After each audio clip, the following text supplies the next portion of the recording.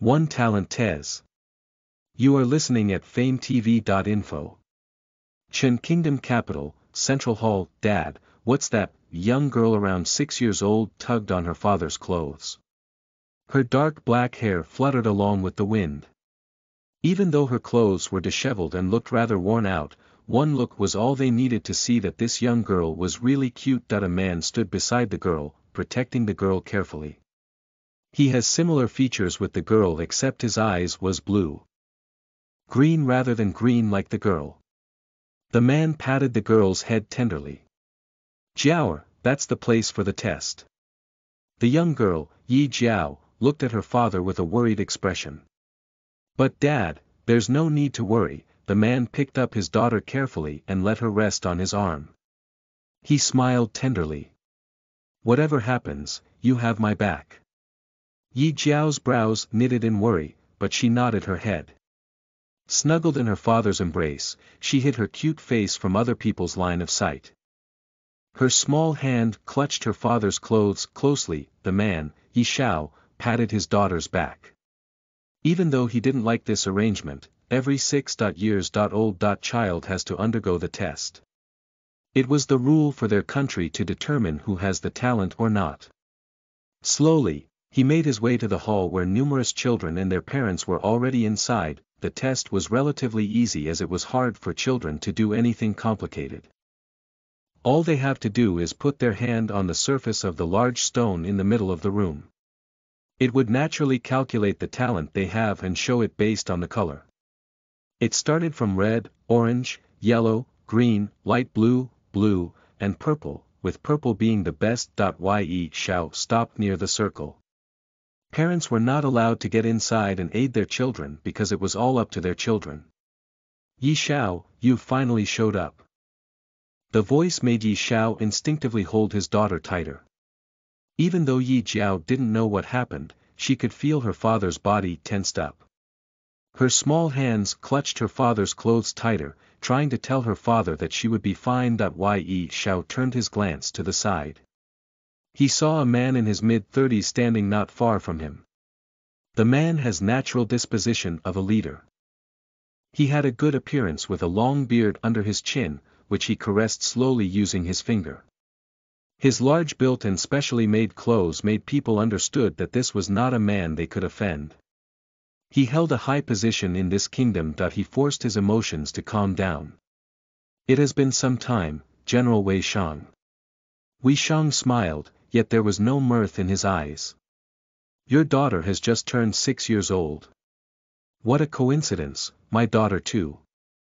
The mockery in Wei Shang's tone was exceptionally clear. He completely disregarded Yi Shao because he knew that this man didn't have the qualification to defeat him. Be it power or influence, Wei Shang was far above Yi Shao. I see, Yi Shao replied in an unhurried tone, Wei Shang's gaze turned to look at the young girl in Yi Xiao's arms. Is there any need to test her again? Everyone here knows that she's just a cripple, a trash that will never be able to learn the arts. Watch what you say. Yi Xiao blurted out. He glared back at Wei Shang as ripples started to appear around his body, indicating that he was close to using his power, Wei Shang sneered.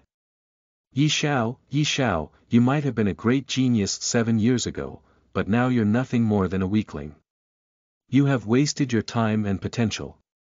The current you is not worth anything. Yi Shao didn't reply anymore. He put Yi Jiao down with his back facing Wei Shang. Someone like this disgusted him too much that he didn't want to taint his daughter's eyes. It would be better for her to never see him. Yi Jiao, just do your best. The young girl noticed her father's worry in her. Yi Jiao stretched up her arm and put on a bright smile on her face. Don't worry, Dad. I will return back soon. Find authorized novels in WebNovel Faster Updates, better experience please click www.novelhall.com for visiting with that, Yi Jiao turned around and headed to the circle. She lined up at the very back of the line, allowing the other children to have their tests before her. Her eyes were looking at her arm with hope that this test would change her fate, Wei Shang shook his head. You should just kill that girl. Because of her, your wife left you. A genius producing a trash, what a disgrace. Don't spout nonsense, Wei Shang, Yi Zhao's eyes glinted with ruthlessness. Even if he was weaker than this man, he didn't want to back down. No matter what other people said, he would never abandon his daughter. You don't have the qualification to call my name directly, Yi Xiao, Wei Shang's aura grew fiercer. His eyes locked straight onto the insolent man in front of him.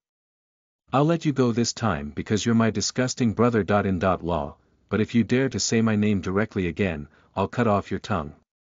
Yi Xiao harumphed and looked at the children.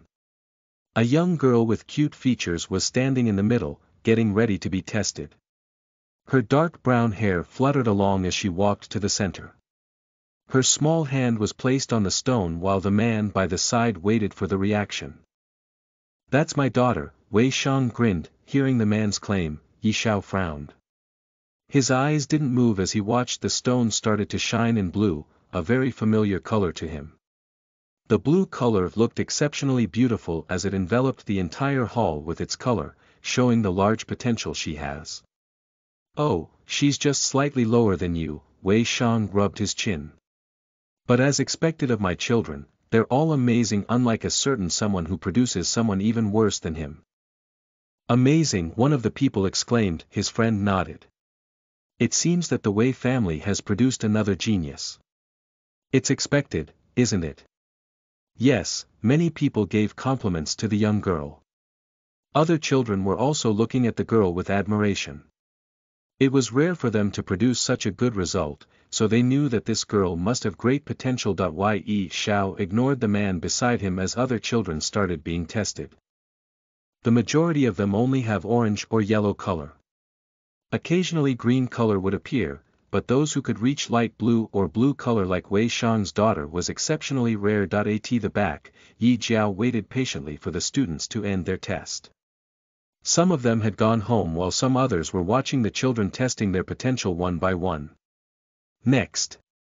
Yi Jiao noticed that she was the last one. Her hand trembled a bit as she placed it on the stone, which felt a bit cold at touch. Faint energy was emitted from the stone.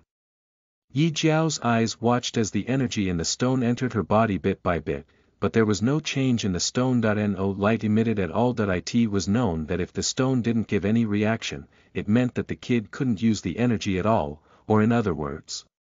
Trash. Listen to the full novel at fametv.info, direct link in the description.